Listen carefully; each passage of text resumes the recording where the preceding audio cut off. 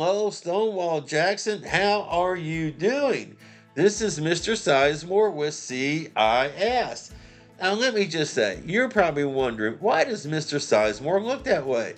Well, I was doing some type of experiment this past weekend, and things went kind of crazy.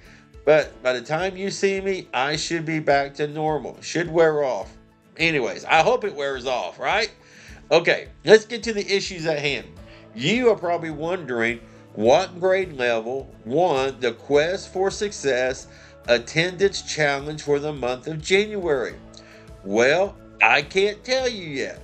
I'm going to hold on to this information until next Monday. Next Monday, I'm going to reveal what grade level won the golden chickens for the month of January. So be watching for next Monday.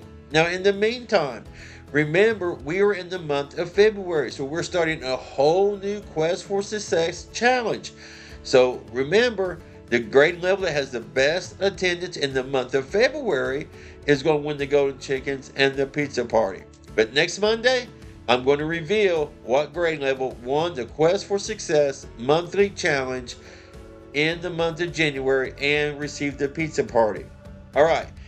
I do want to give a shout out to fifth grade. Fifth grade, they have won the ice cream party the last two weeks. They've been doing a great job. Now, it's been close, but they have edged out some other grade levels to win the, the ice cream parties. I can't wait to see who's going to win the ice cream party this coming week. All right, Stonewall Jackson.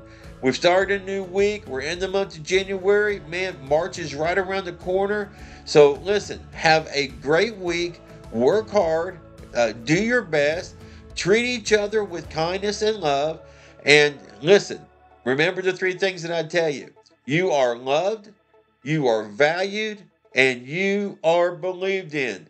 All right, Stonewall, have a great week. And remember, go Stonewall!